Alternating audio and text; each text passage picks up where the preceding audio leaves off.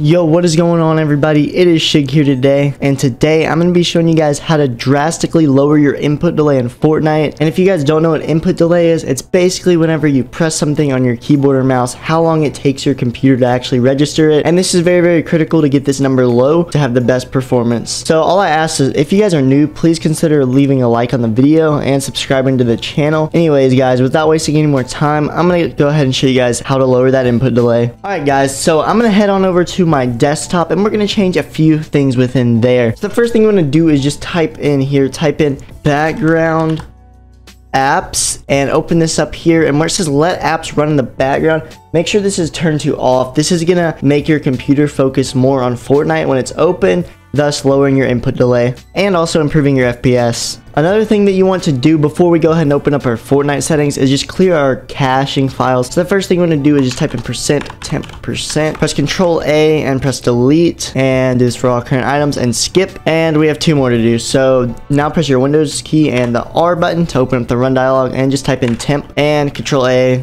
delete, same thing. Now open up the run dialog and type in prefetch and press continue on the pop-up Control A, delete. We're to go ahead and empty our recycle bin and do one more thing and then we're to go ahead and open up our Fortnite game settings to optimize them there. Now I want you guys to go ahead and open up your your uh, start menu and type in disk cleanup and whatever drive you have your Fortnite installed on, it's usually going to be your Windows drive, the, whichever one has the Windows icon next to it. Press OK and make sure all of these are checked and then click up cleanup system files. OK, press OK and then delete files and it might just take a second. So now go ahead and open up your Epic Games launcher. Now once your launcher opens up, before you launch the game, go down here to your settings cogwheel and right here where it says minimize to system tray, turn that one off Alright guys, so when you're in your Fortnite, I'm going to go through the main settings that are really going to help your input delay. Okay, so one of the most important settings in here is your window mode. This needs to be on full screen. Basically, in full screen, the game will run a lot faster and your Windows is going to prioritize the game and not let other apps run as well in the background and it's going to lower your input delay a lot. So make sure it's on full screen. For your frame rate limit, just cap this to your monitor's refresh rate. This really doesn't affect your input delay too much much. Alright, so the next most important setting after your windowed full screen is your rendering mode. You guys want this to be on performance mode. This significantly has the better input delay out of all the other rendering modes. And with this really, really good input delay, you also get really, really high FPS with this. And your FPS is a lot more stable and better compared to the other rendering APIs. So make sure performance mode is selected. Okay, VSync and motion blur, it's really, really necessary for these two to be off. Textures, you want to base this off of how high end your PC is. So if you have a really bad PC, put it on low. If you have a medium end PC, put it on medium. If you have a high end PC, put it on high. And if you have like an insanely good PC, put it on epic. For record replays, you want to turn all of these off.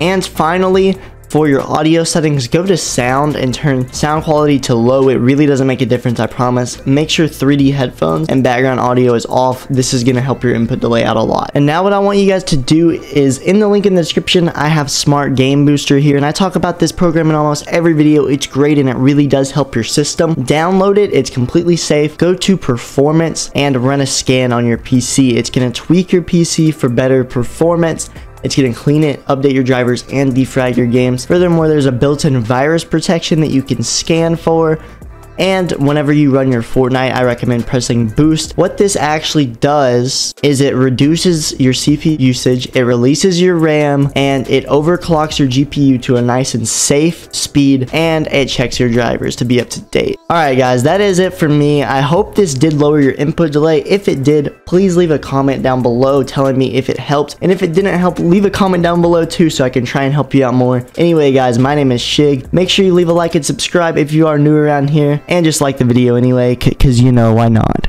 Anyway, I'll see you all in the next video, and as always, peace out.